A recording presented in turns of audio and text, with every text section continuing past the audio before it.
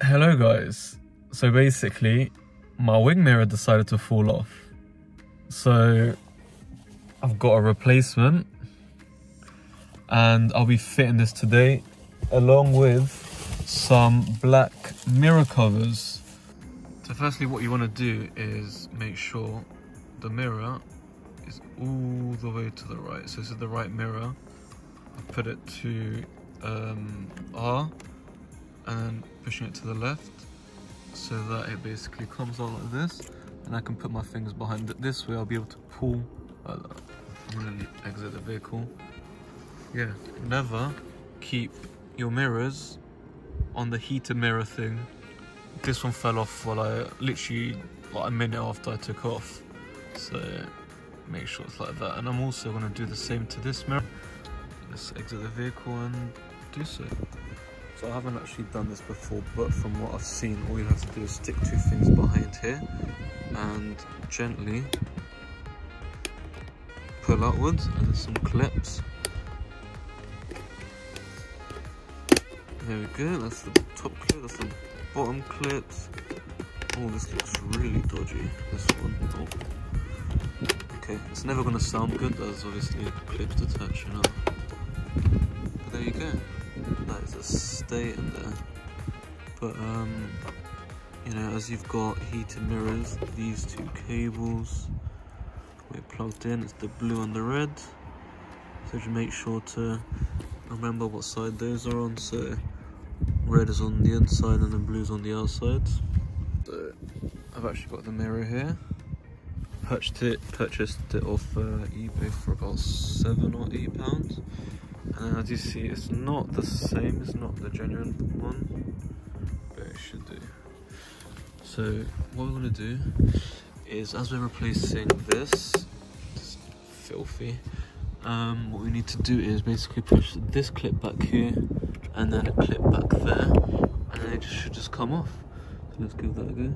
Take I took this clip from here and this clip and I just basically just pulled it off and it came off pretty easily. So here you see there's the two clips which go into goes into there the little hole there and there.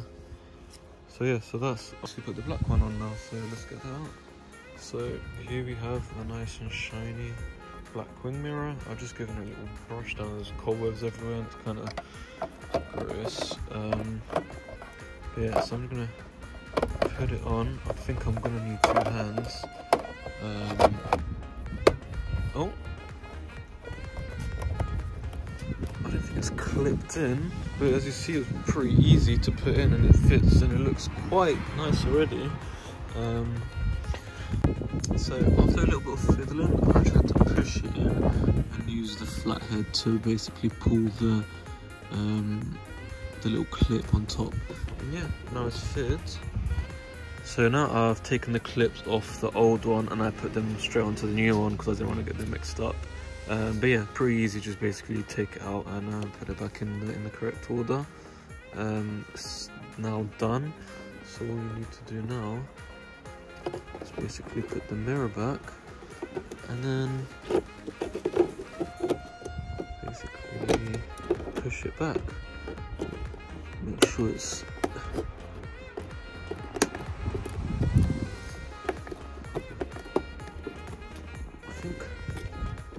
I don't want to move too much, don't want to mess up the motors, but... Oh, there we go. Oh, there you go.